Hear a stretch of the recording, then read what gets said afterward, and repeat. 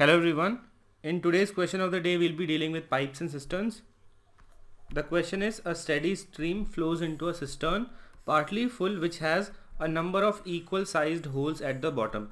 If 12 holes are opened the cistern is emptied in 4 hours and if 10 holes are opened the cistern is emptied in 8 hours.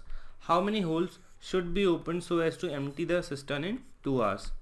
So this clearly means that some water is going into the cistern and some is coming out of the cistern through these holes at the bottom.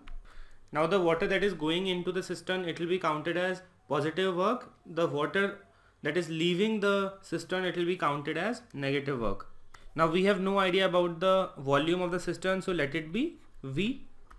After that I have to keep in mind the rate at which the water is flowing into the cistern and the rate at which the water is flowing out of the cistern. So let me assume that rate of inflow inflow by whatever stream is coming into it it is giving us a liters per hour or units per hour. So I'll just mention a units per hour. Similarly we have some holes due to which we have an outflow.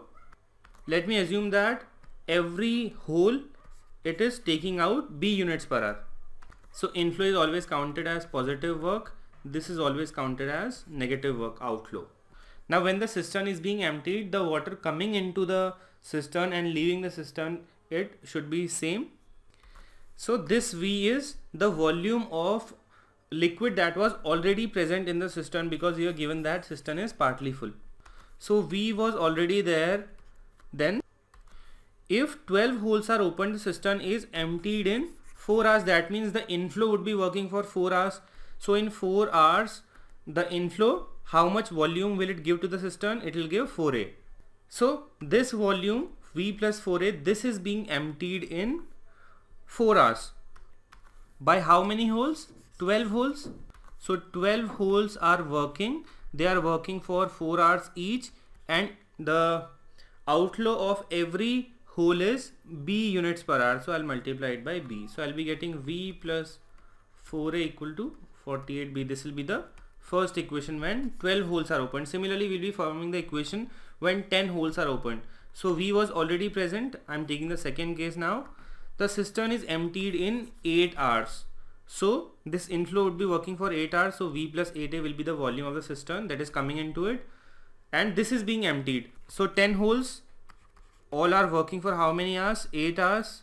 And rate of outflow of every hole is b units per hour. So this is the second equation that will have so ATB this is the second equation.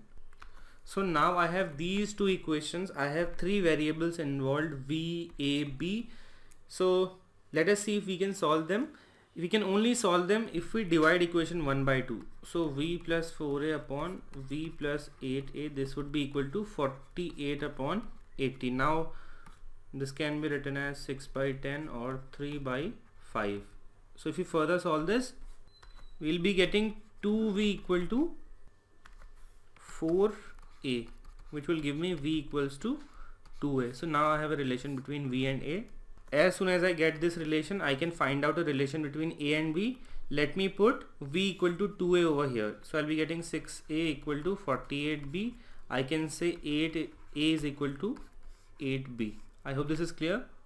Now we need to find out how many holes should be opened so as to empty the cistern in 2 hours.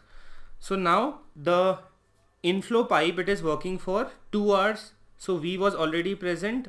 For 2 hours there will be an inflow so that volume added will be plus 2A. Now we need to find out the number of holes that are at the bottom. So let us assume that there are X holes.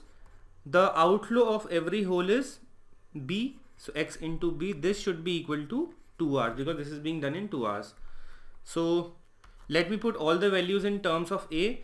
V will be equal to 2a so in numerator we'll be getting 2a plus 2a that gives us 4a upon x. We need to find out that is the number of holes. B is equal to a by 8 so a 8 will be multiplied above. This would give us 2 a a cancels. We'll be getting x equal to 32 by 2 that means 16 so there should be 16 holes at the bottom if we want to empty the tank in 2 hours, the cistern in 2 hours. So I hope that is clear. If there is any doubt, please ask again. Thank you.